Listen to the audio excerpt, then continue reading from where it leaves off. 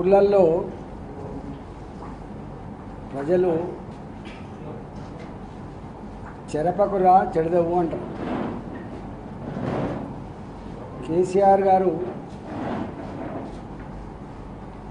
ధర్మాన్ని న్యాయాన్ని నాలాంటి ప్రజలతో మమేకమైన వ్యక్తిని చెరిపే ప్రయత్నం చేశాడు ఇవాళ చివరికి తానే చెడిపోయే పరిస్థితికి వచ్చింది. ఇంగ్లీష్లో చదువుకుంటప్పుడు ఎప్పుడు క్యారెక్టర్ యొక్క గొప్పతనం చెప్తూ ఉంటాం. Wealth is lost nothing is lost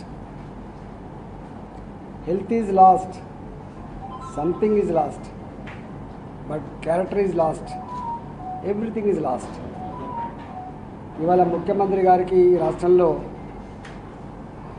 character ఇవాళ సోషల్ మీడియాలో చెక్కలు కొడుతుంది.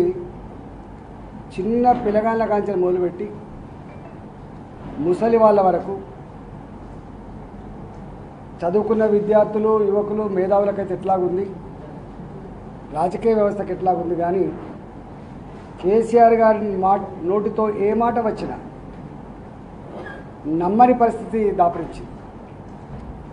స్వయంగా కేసీఆర్ గారి మీటింగ్లో వారు మాట్లాడుతుండగానే మహిళలు ముచ్చట పెట్టుకుంటాను ఇవన్నీ చెప్పేటి బక్వాస్ తప్ప ఇవన్నీ అబద్ధాలు తప్ప ఇవి ఆచరణలో అమలు కావు అని చెప్పి మహిళలు మాట్లాడుకున్నటువంటి ఆ వీడియో వైరల్ అవుతా ఉంది. వారు ఎంత పెద్ద మేధావులైనా అనుభవం కలిగిన వారైనా ప్రజాప్రతినిధిగా పనిచేసిన వారైనా కూడా కనీసం తన పట్ల ప్రజలు ఏమనుకుంటున్నారో తెలుసుకునేటువంటి అక్కర ఉంటుంది. మంత్రులు చెప్తే నెగిటివ్ ఫీల్ అవుతాడు. ఎంపీలు చెప్పినా ఎమ్మెల్యేలు చెప్పినా దగ్గర వాళ్ళు చెప్పినా పట్టించుకోరు. కనీసం చరిత్రలో రాజ రాజ రాజుల కాలంలో కానీ చక్రవర్తుల కాలంలో కానీ వాళ్ళకు ప్రజల్ని కలిసేటువంటి భాగ్యం లేకపోయినా మారువేషంలో ప్రజల్ని కలుసుకొని ప్రజలు నా పట్ల ఏ దృక్పథం ఉందో అసెస్ చేసుకునేటువంటి భావన ఉండే. కానీ ఈ ముఖ్యమంత్రి గారు చరిత్రను తిరగరాసి గతంలో ఉన్న ముఖ్యమంత్రులు పొద్దున పూట ప్రజా నిర్వహించేవాళ్ళు. నిర్వహించేవారు ఎక్కడ ఎవరికి ఏం అవసరం ఉన్నా కూడా ప్రజల్ని చెప్పుకునేటువంటి వెసులుబాటు ఉండే ఉన్నంతలో పరిష్కారం దొరికేది. కానీ ఈ ముఖ్యమంత్రి గారు ప్రజా దర్బార్ని క్యాన్సిల్ చేసింది రెండవది ఏ ముఖ్యమంత్రి గారైనా ఆఫీస్కి వచ్చి ఆఫీసర్లతో రివ్యూ పెట్టేటువంటి ప్రాక్టీసెస్ ఉండే. కానీ ఈ ముఖ్యమంత్రి గారు ఆఫీస్కు రారు. ఏ ముఖ్యమంత్రి అయినా సాయంత్రం మూడు గంటల నుంచి వెళ్ళి ఆరు గంటల వరకు ఎంపీలకు కానీ ఎమ్మెల్యేలకు కానీ ఎమ్మెల్సీలకు కానీ లేదా ఎవరైనా కలుసుకోవాలనుకున్న వాళ్ళకు తప్పకుండా వితౌట్ నోటీస్ వితౌట్ అపాయింట్మెంట్ కలుసుకునేటువంటి ఆ ప్రోటోకాల్ ఉండే. అది కూడా క్యాన్సిల్ చేసాడు. ఇవాళ ముఖ్యమంత్రి గారికి మరి ఇంటెలిజెన్స్ రిపోర్ట్లు వస్తలేవా? ముఖ్యమంత్రి గారికి ఎవరు సన్నిహితులు లేరా? ముఖ్యమంత్రి గారికి ఎవరు సమాచారం ఇస్తలేరా? ఇవాళ అధపాతాలనికి పోయింది. ముఖ్యమంత్రి గారి యొక్క ప్రతిష్ట ముఖ్యమంత్రి గారి యొక్క గౌరవం ఇవాళ అధపాతాలలో ఉన్నది. మేం చెప్పడం కాదు. India today survey India today survey గతంలో రెండవ స్థానంలో మూడవ స్థానంలో ఉంటే అంటే ఓ గర్వపడే ముఖ్యమంత్రి గారు. ఇవాళ అదే ఇండియా టుడే సర్వే ఇవాళ ఈ ముఖ్యమంత్రి గారి స్థానం నిర్దేశించినప్పుడు ఇప్పటికైనా వారికి అర్థం కావాలి. దీని నుంచి నేర్చుకోవాల్సింది ఎక్కడ తప్పు జరిగిందో ఎందుకు జరిగిందో అసెస్ చేసుకొని రివ్యూ చేసుకొని దాన్ని రెక్టిఫై చేసుకునే ప్రయత్నం చేయాలి తప్ప ఇవాళ హుజరాబాద్ లాంటి నియోజకవర్గంలో ఎన్నికలు వస్తే ఒక అసాధారణమైన పరిస్థితి. ప్రజాస్వామ్యానికే మచ్చ తెచ్చే పద్ధతులు. నేను మొన్న కూడా చెప్పిన ఒక మీటింగ్లో చక్రవర్తులు రాజులు కూడా గొప్ప గొప్ప కార్యక్రమాలు చేసి ప్రజల హృదయాలను దోసుకున్న వాళ్ళు ఉన్నారు ప్రజల ప్రేమ పొందిన వాళ్ళు ఉన్నారు అశోకుడు చెట్లు నాటించను. ఎన్నో వేల కింద ఎన్నో సంవత్సరాల కింద ఇవాళ ఆ గొప్ప కారణం జరిగితే ఇవాళ తలుచుకుంటాం. స్వర్ణయుగం అని దేనిని అందరూ గుప్తుల కాలని స్వర్ణయుగం అని చెప్పి తలుచుకుంటా ఉంటాం. కానీ కేసీఆర్ గారి పాలన మాత్రం కేసీఆర్ గారి పాలనలో ఏం జరిగిన ఉజబాలు అంటే వందల కోట్ల రూపాయలు పెట్టి సొంత పార్టీ మనుషుల్నే కొన్న చరిత్ర ఇవాళ కేసీఆర్కి మాత్రమే దక్కింది. ఇవాళ హుజరాబాద్లో ఒక్క బై ఎలక్షన్ జనరల్గా సాధారణ ఎన్నికలు జరుగుతున్నప్పుడు ఒక రాష్ట్రానికి సంబంధించిన ఎన్నికలు జరిగినా దేశానికి సంబంధించిన ఎన్నికలు జరిగినా జనరల్ ఎన్నికల సందర్భంగా ప్రతి పార్టీ మేము ఏం చేసినాం మేము ఏం చేయబోతామో మేనిఫెస్టో రిలీజ్ చేసేటువంటి సాంప్రదాయం ఉంటుంది. కానీ హుజరాబాద్లో మాత్రం ఇది జనరల్ ఎలక్షన్ కాకపోయినా ఇది సాధారణ ఎన్నికల ఎన్నికలు కాకపోయినా ఒక్క నియోజకవర్గం ఎన్నికల కోసం.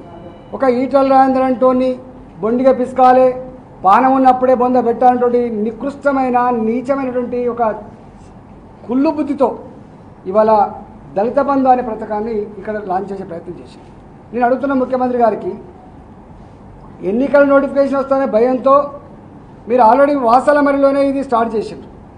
ఇంకెక్కడ లాంచ్ చేసినా కూడా ఇది నామమాత్రం మాత్రమే అని చెప్పి మీరు అనౌన్స్ చేసిండ్రు. కానీ మళ్ళీ హుజరాబాద్లో వచ్చి మీరు దీన్ని అనౌన్స్ చేశారు. నేను ఒకటే కోరుతున్నా నీకు నిజాయితీ ఉంటే చిత్తశుద్ధి ఉంటే నేను ఒక రెండు మూడు ప్రశ్నలు అడగదలుచుకున్నాను మిమ్మల్ని. మీరు అన్నారు మీ మీ నోటి మాటలతోటి ఒక లక్ష డెబ్బై వేల కోట్ల రూపాయలు దళిత బంధుకు అవసరం పడతాయి. నీ నోటి మాటతోటి మేము అనుకుంటున్నాం అది రెండు లక్షల కోట్లు దాటిపోద్దని. నేను అంటున్నా ఈ రాష్ట్రంలో ప్రజా సంక్షేమం కోసం జీతభత్యాలు దాదాపు నలభై నలభై ఐదు వేల కోట్లు పోతాయి. ప్రతి సంవత్సరం ఉద్యోగుల జీతాలకు కానీ పెన్షన్లకు కానీ అయ్యే ఎక్స్పెండిచర్ నలభై నుంచి నలభై ఐదు వేల కోట్లు ఉంటుంది. ఇవాళ మనం తెచ్చుకున్న అప్పులకు నాలుగు లక్షల పైచలకు ఇలా ఏదైతే అప్పులు తెచ్చుకున్నామో ఆ అప్పులకు వడ్డీ అసలుతో కలిపి ఈ సంవత్సరం నాకు తెలిసి యాభై ఆరు వేల కోట్ల రూపాయల సంవత్సరం కడుతున్నాం. వచ్చే సంవత్సరానికి అరవై రెండు వేల కోట్ల రూపాయలు కడుతున్నాం. మళ్ళా వచ్చే సంవత్సరానికి అరవై ఎనిమిది వేల కోట్ల రూపాయలు కడుతున్నాం. ఇట్లా పెరుగుతూనే పోతుంది అది. మరి ఈ రెండు కలిపే ఈ రెండు కలిపే లక్ష కోట్ల పైచిలకు అయినప్పుడు ఈ రెండు కలిపే లక్ష కోట్ల రూపాయలు అయినప్పుడు మీరు చెప్తున్న రైతు బంధు ఒక పదిహేను వేల కోట్ల రూపాయలు. మీరు చెప్తున్నటువంటి కరెంట్ సబ్సిడీ మీరు చెప్తున్నటువంటి బియ్యం సబ్సిడీ మీరు చెప్తున్నటువంటి ఇవాళ పెన్షన్లు కేసీఆర్ కిట్టు ఇవన్నీ కలిస్తే మళ్ళీ ఒక ఇరవై వేల కోట్లు పోతుంది. అంటే దాదాపు ముప్పై ముప్పై ఐదు వేల కోటి రూపాయలు దీనికే పోతాయి.